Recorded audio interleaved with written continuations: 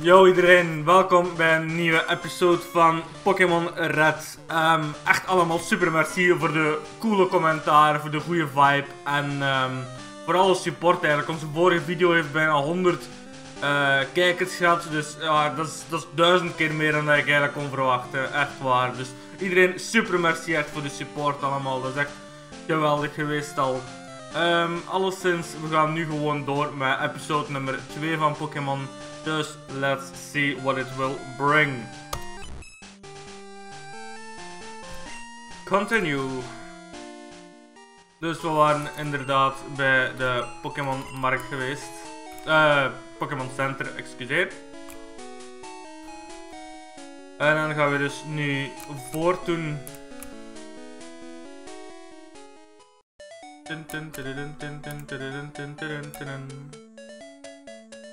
Dus in deze episode ga ik ook mijn Pokémons proberen catchen. Dat zal zijn Pidgey en Nidoran. Nidoran weet ik niet of dat gaat lukken. Maar Pidgey zou normaal gezien... Voilà, we hebben al een Pidgey. Pidgey zou geweldig zijn om al te kunnen vangen. Gewoon omdat we later Fly hebben. Voilà. Dat is perfect voor een Pokéball. Let's throw one! Come on, come on. En we hebben een Pidgey.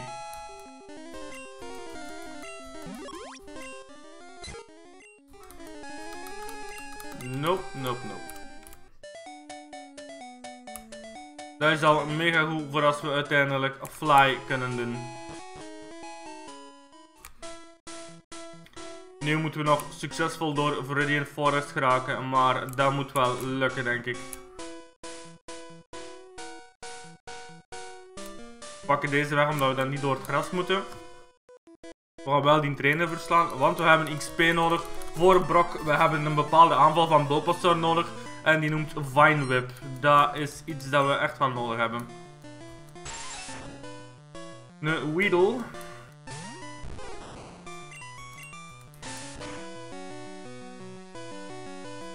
Ik heb ook nog iets speciaal voor jullie in petto. Uh, een van mijn viewers kwam daarmee uh, overweg. Maar daar kan ik eigenlijk pas iets over zeggen als we bij Misty zijn.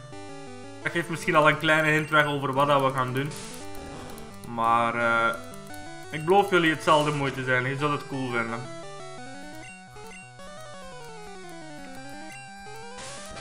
Dat is het jammer van gras tegen gras Pokémon. Dat is zo... Oh ja, dat gaat echt niet vooruit. En hij heeft er zo drie, dus... Kakuna, oké.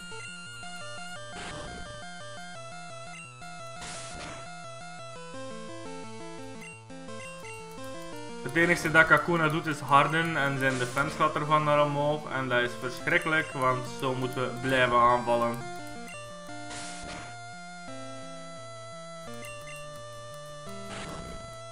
Die Kakuna zal hij in het wild gevangen hebben, neem ik aan. Alhoewel het daar raar is, omdat dat level 7 is.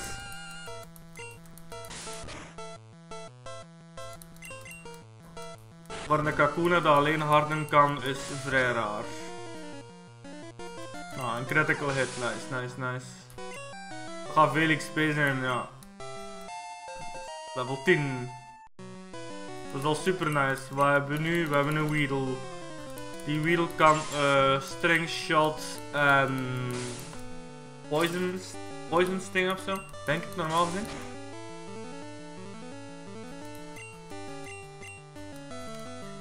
Trouwens, als er commentaar is of zo over hoe dat ik deze video's beter zou kunnen doen, uh, laat mij zeker iets weten in de comments down below. Uh, ik zou echt willen weten wat ik nog meer kan doen om dit naar jullie zin te maken.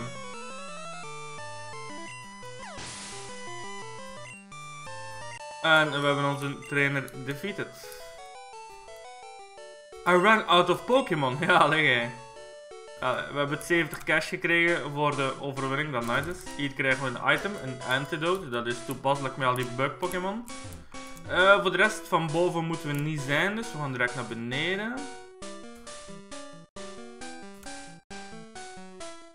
Dit zijn een paar patroontjes dat we moeten volgen. Niks te speciaal eigenlijk. Verschiet ervan dat we geen Pokémon zijn tegengekomen. We hebben nog een item hier. Een potion. Dat is altijd wel handig. Voor weet ik veel wat. Hier gaan we nog een trainer tegenkomen. Yep. What's the hurry? Nothing, my friend.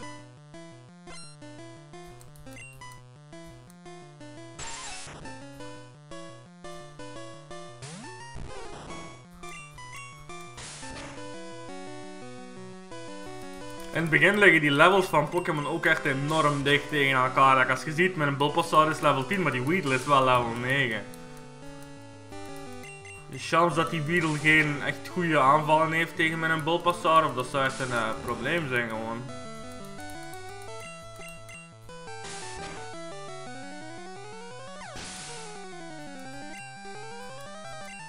Level 11 al, nice, nice, nice.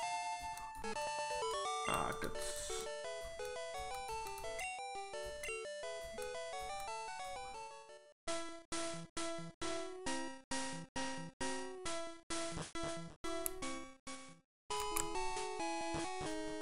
Yay, we made it out of Viridian Forests.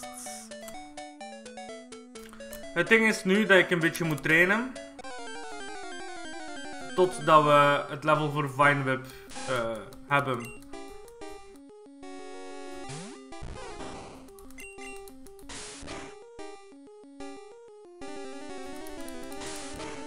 Ik weet niet juist welk level dat, dat is.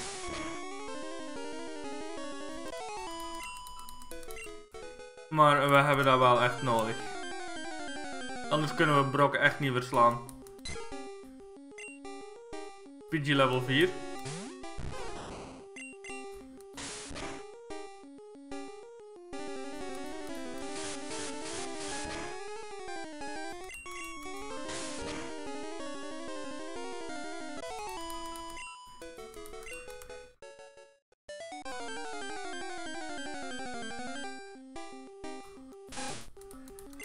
Zeg, er is geen snellere manier meer om dit te doen, omdat wij ook, we hebben geen trainers meer. Dus we kunnen, we kunnen niet anders dan dit eigenlijk doen. We hebben echt die Vine Whip nodig.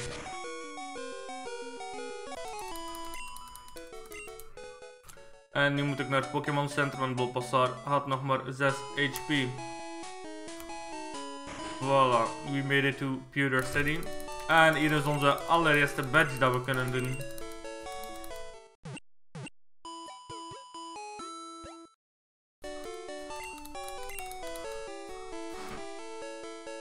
De Pokémon Center druk ik ook altijd, uh, als, nadat mijn Pokémons geheeld zijn, op B in plaats van op A. De reden daarom is gewoon omdat meestal spawn klikt je door, um, door A of zo, gewoon om het sneller te laten gaan. Maar voor hetzelfde geld zit je dan terug in dat menu van um, of dat je je Pokémons moet healen. Dus dan verspilt je weer een beetje meer tijd eigenlijk.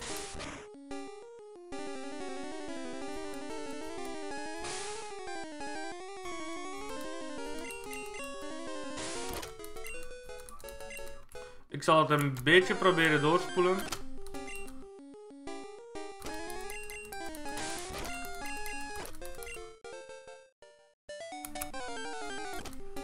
Dat kan ik omdat ik op een emulator speel.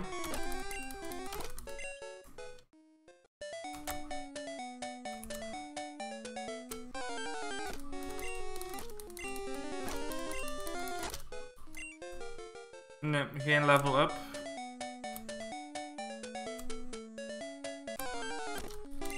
Zeg, dit zal het zijn totdat we lead sheet krijgen. Um, aha, wacht. Level 12. Vinewhip, Vinewhip. Geen Vinewhip. Dan zal het op 13 zijn.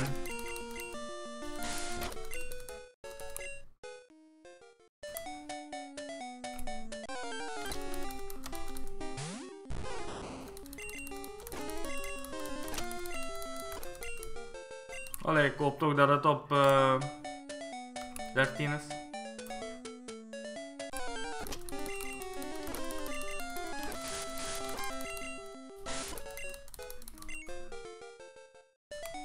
Dat is nu misschien raar omdat ik veel stukken van de fight skip, maar ik wil ook niet te veel tijd aan dat vechten uh, overlaten. Ik hoop dat je dat wel snapt.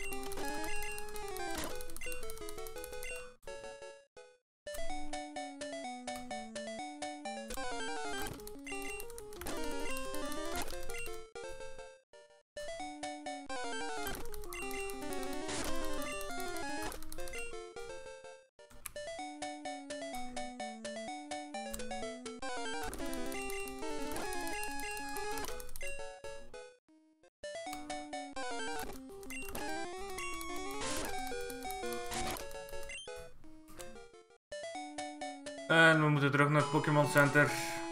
Man, Bulbasaur heeft nog maar 6 HP. Zie, dus nu druk ik, smash ik eigenlijk A, heal. Oké, nu smash ik B. Anders, voor hetzelfde geld, komen we terug in dat de menu van... Um, moet ik uw Pokémon healen. En dat willen we natuurlijk niet.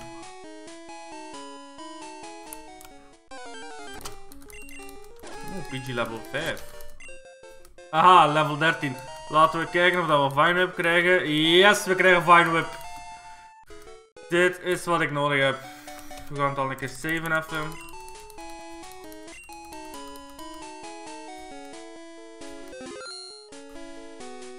Ah ja, als je de tijd vooruit spoelt in de game, dan uh, spoelt dat ook vooruit op je save file. Ik zeg het maar al, daarom dat we nu eigenlijk al over ons 15 minuten zitten. Oké, first gym battle boys, let's go. Stop right there, kids.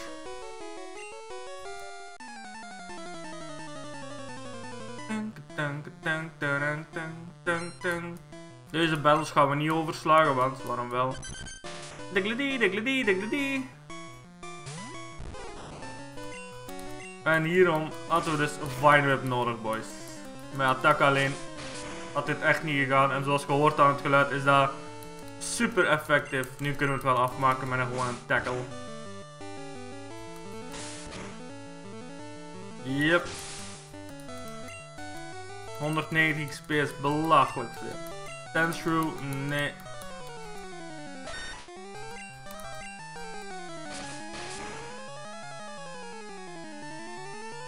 Bijna. Stand Attack is zo'n vervelende aanval omdat je accuracy valt. En dat betekent dat je minder kans hebt om te hitten.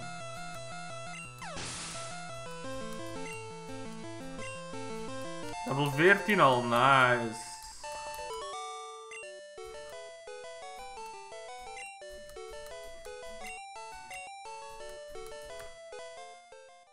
We gaan gewoon de potion gebruiken in plaats van terug te lopen naar de naar de Pokémon Center. Naar het Pokémon Center, beter gezegd. Dus hier komt de eerste gym leader boys and girls. Dit is Brock. I'm Brock. I'm Pewter Gym Leader. I believe in rock, hard defense and determination. That's why my Pokemon are all the rock type. Do you still want to challenge me? Question mark. Fine then. Show me your best. Ah, die jam muziek is echt zo nostalgisch voor mij. Ook hoe dat Brock er staat zo, dat is mega badass. Hij heeft twee Pokémon, dat zijn Geodude en Onyx als ik mij niet vergis. Geodude kijkt een beetje heel grappig.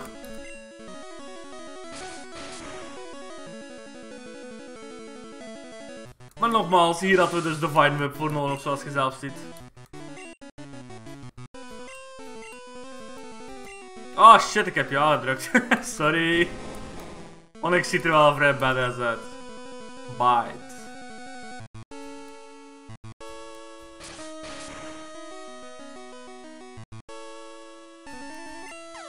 En dat was eigenlijk de gym, dat was eigenlijk een gymgevecht. Daarom dat we Vine Whip nodig hadden.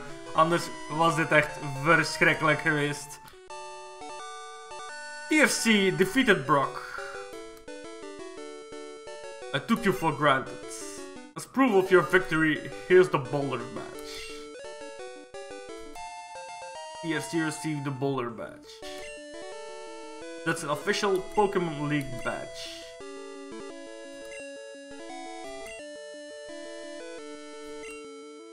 Flash, Flash gaan we nog niet direct nodig hebben, maar 1386 coins is wel super nice.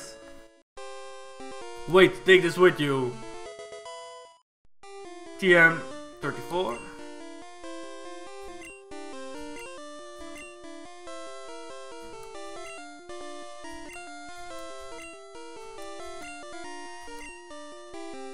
Bite. Bite is echt een shit move. Je wilt dat echt niet leren aan uh, een Pokémon.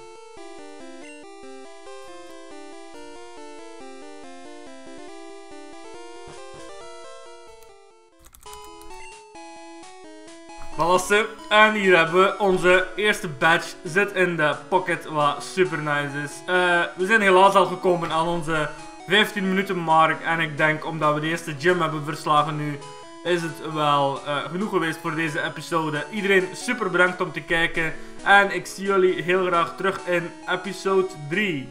Goodbye. Yo.